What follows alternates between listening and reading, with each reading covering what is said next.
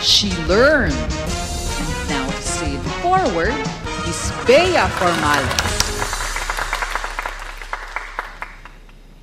You know how at home, the littlest things can get to you?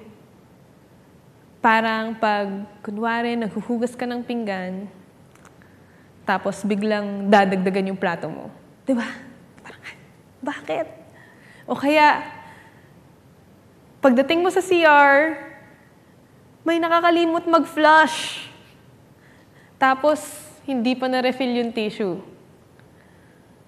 O kaya minsan naman, pauwi ka sa, ba- pa, pauwi ka sa bahay, ini-imagine mo na yung kakainin mo, tapos pagdating mo, ubus na pala.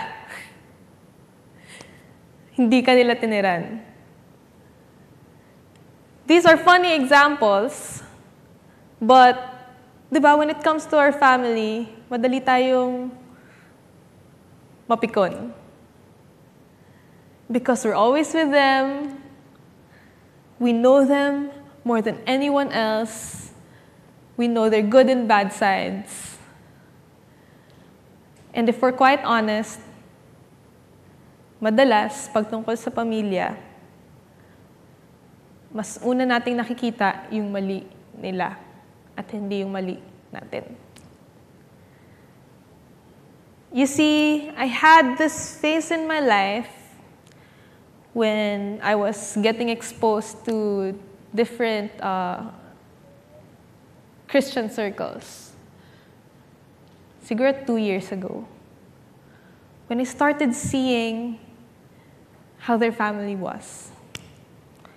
Di ba, yung, yung mga anak na kapag, ano, nakapag-share sa magulang nila ng lahat ng na-feel nila, naiisip nila, sobrang free lang. They're growing together, they're serving in ministry together, they're praying together. And lagi ko naisip nun, bakit hindi kami ganun? Don't get me wrong, my family is great. We had dinners together, we go to church together. We didn't have fights, siguro very small lang. But I've always felt like there was something missing. Like yung relationship namin, hindi pa ganun ka-deep. And so I started praying for my family. I asked my parents to start a Bible study at home. Sa isip-isip ko, tong solusyon na to, it will open their eyes to how else we can improve as a family.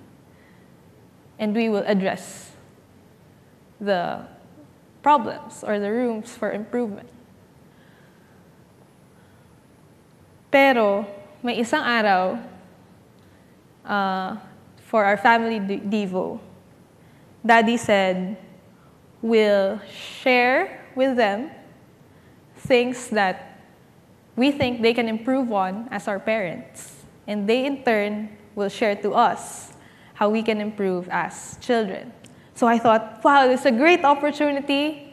share ko sa kanila lahat ng iniisip ko, lahat ng thoughts ko before. But little did I realize that I would be opened up to the many things that I need to improve on myself as well. Nakakatawa nga nun eh. Hindi ko alam kung naalala ni mommy. Na-realize ko mas marami pang ang room for improvement sa akin kesa sa mga kapatid ko. At ang yabang-yabang ko pa para i-point out na yung pagkakamali nila. Uh, honestly, ako, pag nasa-stress ako minsan, masungit na ako. O kaya, pag nag-obey ako, minsan hindi na ako joyful. And a lot of other things. Minsan masakit ako magsalita. And they told me about it. And it crushed my pride. God turned my question from, what's wrong with my family, to what's wrong with me. And it reminded me of this verse in Matthew Sabi niya, Why do you look at the speck of sawdust in your brother's eye when you have a plank on your own eye? Di ba, meron kang ano, isang malaking plank sa mata mo, pero mas pinupunan mo yung pagkakamali ng iba. And that was my case in our family.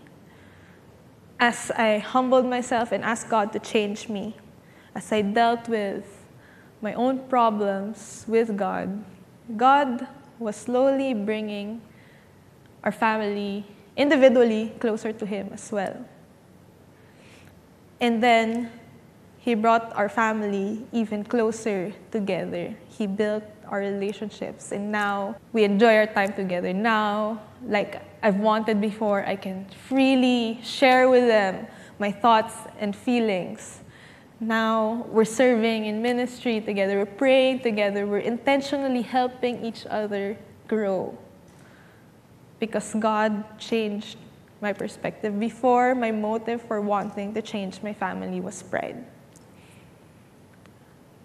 But now, realizing that I myself am part of God's family only because of His love and forgiveness and grace, na-realize ko na kayang gamitin ni God yung kwento ng pamilya namin para ipakita yung pagmamahal niya, our Heavenly Father, towards imperfect people like us through our family.